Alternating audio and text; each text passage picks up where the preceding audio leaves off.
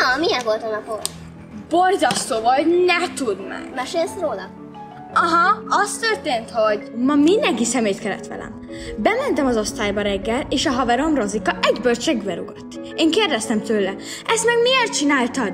Erre ő csak annyit mondott, rá van írva a hátadra, hogy rúg segbe. Utána pedig, amikor már azt hittem, hogy semmi nem fog történni, beléptem ebédnél a vizembe.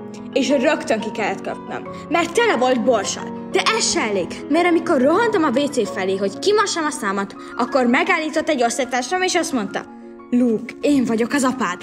Erre én csak azt akartam mondani, hogy de hát én lány vagyok. De ebből ő csak annyit hallott. Bő, bő, bő.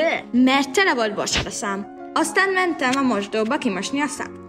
De ekkor valaki elkezdte kapcsolgatni a villanyt, és huhagat. Én tényleg nem értettem, hogy ma mi történt. Úgy tűnik mindenki meg volt őrülve. Hát ezt érted? Hát ezt meg miért csináltad? Hisz mindenki tudja, hogy április elsője van ma.